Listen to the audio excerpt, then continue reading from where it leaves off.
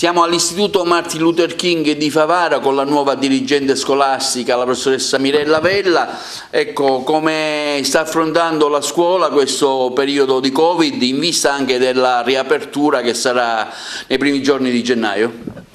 Eh, diciamo che ci siamo organizzati bene e, e da subito, non abbiamo avuto grosse difficoltà e anche a partire dalla settimana scorsa abbiamo riaperto i laboratori del liceo artistico per il triennio, per le classi terze, quarta e quinte, così come previsto nel DPCM della normativa, i laboratori non erano esperibili in altro modo se non che in presenza. E chiaramente i ragazzi sono contingentati, massimo 14 e soprattutto abbiamo anche avuto una serie eh, di rapporti interistituzionali con l'ASPE di Agrigento che ci ha consentito di fare uno screening a tutti gli alunni prima di rientrare e anche a tutto il personale scolastico, quindi una grande sinergia eh, con il territorio, eh, con le famiglie e con l'utenza e diciamo che i risultati sono estremamente positivi. Ecco, parliamo di Open Day, ci avviamo i primi di gennaio all'apertura del nuovo anno scolastico, quest'anno sicuramente non è fatto in presenza ma sarà fatto via telematica.